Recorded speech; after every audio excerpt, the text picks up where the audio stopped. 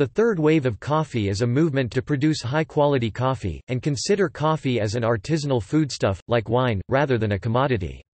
This involves improvements at all stages of production, from improving coffee plant growing, harvesting, and processing, to stronger relationships between coffee growers, traders, and roasters, to higher quality and fresh roasting, at times called microroasting, by analogy with microbrew beer, to skilled brewing.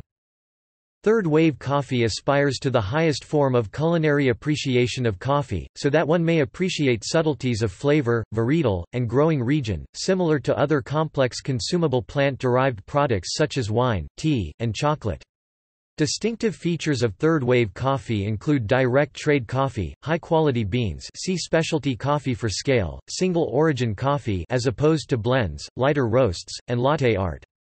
It also includes revivals of alternative methods of coffee preparation, such as vacuum coffee and pour-over brewing devices such as the Chemex and Hario V60.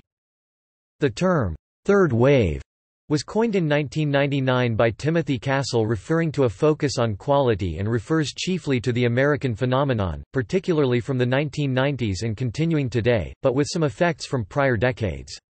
Similar movements exist in India, Taiwan, Japan and broader Asia, and Canada, Australia, Mexico, New Zealand, and Scandinavia. More broadly, third-wave coffee can be seen as part of the specialty coffee movement. Topic history Antecedents of third-wave coffee include Peet's Coffee and Tea of Berkeley, California, which in the late 1960s began artisanal sourcing, roasting, and blending, and the Seattle coffee scene of the 1970s, 80s, and 90s. The latter saw the birth of artisanal American espresso bars, some of which evolved into nationwide chains, notably Starbucks, which are retroactively titled Second Wave. Peet's primarily retails beans for home brewing, features dark roasts, and did not serve espresso until 1984. These in turn were predated by Italian-American espresso bars, primarily serving immigrant communities, and 19th-century first wave coffee importers.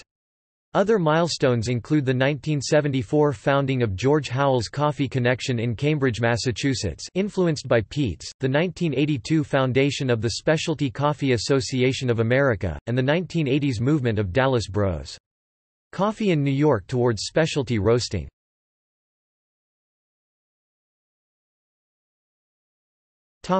Use of the term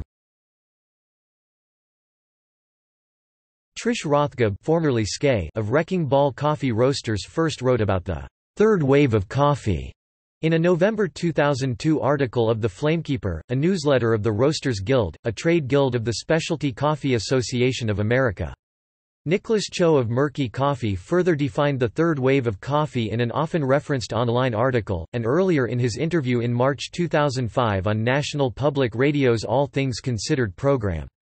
More recently, the third wave of coffee has been chronicled by publications such as The New York Times, LA Weekly, Los Angeles Times, La Opinion, and The Guardian. In March 2008, Pulitzer Prize winning food critic Jonathan Gold of LA Weekly defined the third wave of coffee by saying, the first wave of American coffee culture was probably the 19th-century surge that put Folgers on every table, and the second was the proliferation, starting in the 1960s at Peet's and moving smartly through the Starbucks Grande Decaf Latte, of espresso drinks and regionally labeled coffee. We are now in the third wave of coffee connoisseurship, where beans are sourced from farms instead of countries. Roasting is about bringing out rather than incinerating the unique characteristics of each bean, and the flavor is clean and hard and pure. The earlier term, specialty coffee, was coined in 1974, and refers narrowly to high-quality beans scoring 80 points or more on a 100-point scale.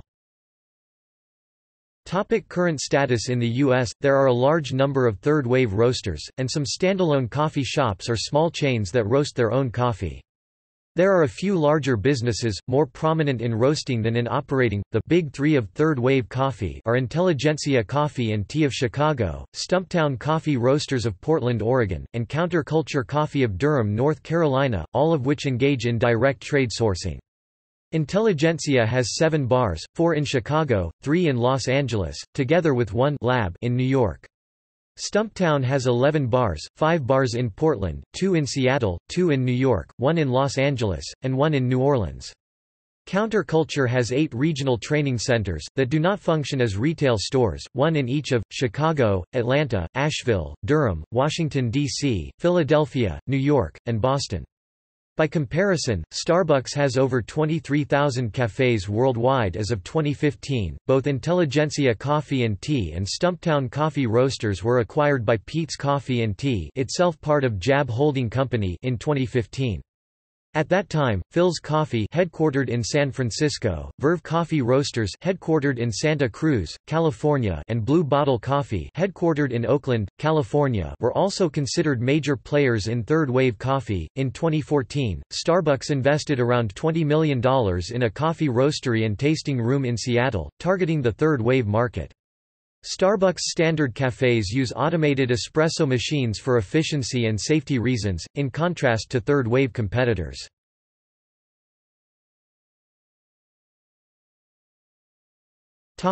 See also Specialty foods